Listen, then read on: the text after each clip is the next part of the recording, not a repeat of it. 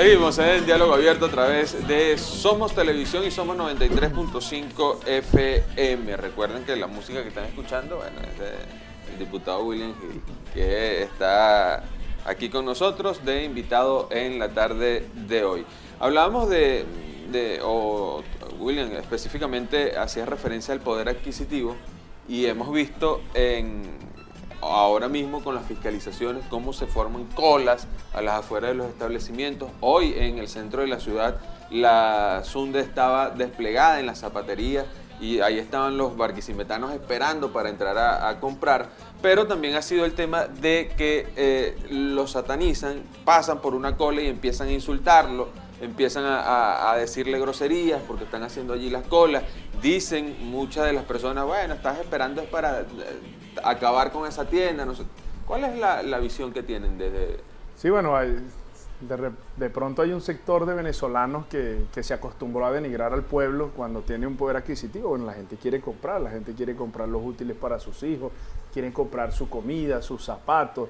O sea, era impensable con el salario mínimo poder pensar, bueno, al final del mes me puedo comprar unos zapatos. Y, y la gente, bueno, está sintiendo, aun cuando no habían depositado sino apenas el bono, aun cuando no había llegado, no ha llegado el 7 de septiembre, que no se ha cobrado la primera quincena, bueno, ya la gente siente que bueno, que tiene ese adelanto, que tiene ese bono que dio el presidente, que puede tener capacidad de comprar porque ya cuando cobre la quincena, bueno, eh, ya el salario, como todos saben, medio petro, y eso va a permitir que bueno, que la gente tenga capacidad de compra y que estamos haciendo las fiscalizaciones porque bueno, tenemos que mantener a raya los precios.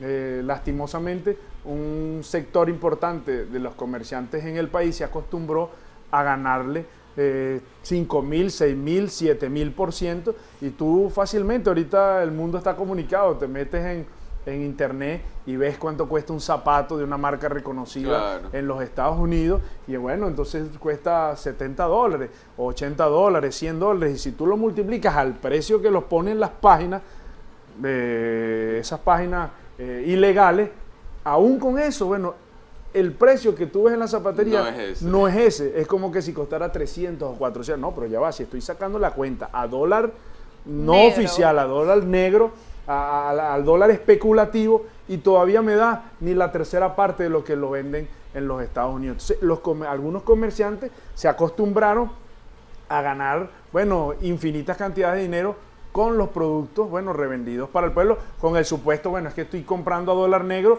y lo estoy, eh, digamos, llevando a ese, a ese monto. Es igual que el precio de los productos. Yo ponía el ejemplo en estos días de la carne. Si ellos siguen subiendo la carne, la carne eh, un día antes del anuncio del presidente estaba en 8 mil, 8 mil 500. El presidente la reguló a 9 mil, bueno, la escondieron y el, y el vicepresidente ayer decía, vamos a ir a los mataderos.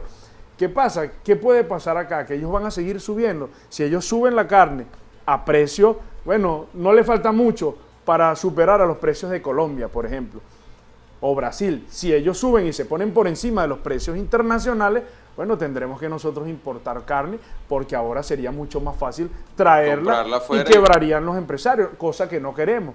Pero el presidente dijo, yo les tengo una sorpresa, bueno, abriríamos la importación, porque no puede ser posible que están rebasando ya los precios internacionales, quieren vender eh, como nunca antes eh, las ganancias y eso es lo que nosotros estamos controlando y estamos seguros eh, que se va a controlar.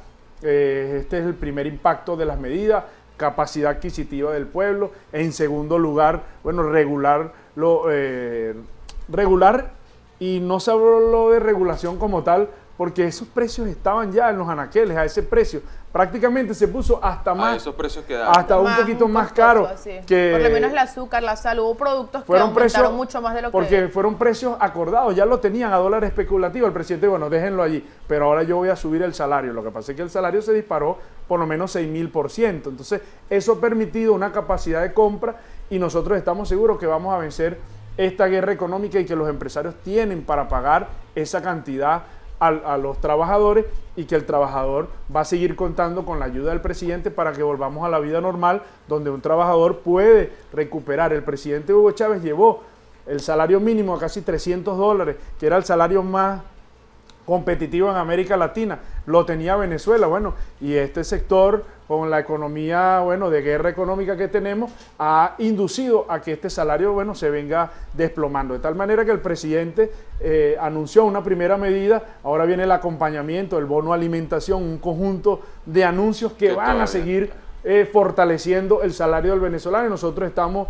muy felices de que el presidente haya tomado estas medidas que son complementarias y que vamos a salir adelante de la difícil situación que estamos. Eh, estas medidas económicas han tenido al venezolano, bueno, pendiente, el bono, la reconversión, los 5-0, estudiando por aquí, estudiando por allá.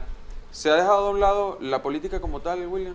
No, la política es parte de eso. Ahora, yo conversaba con un compañero en estos días y, y siempre en algunos eventos donde vienen compañeros de otros países. Nos dicen, ustedes son campeones en política, ganan todos los referendos, ganan todas las elecciones, pero bueno, tienen que ponerse allí con el tema de la economía.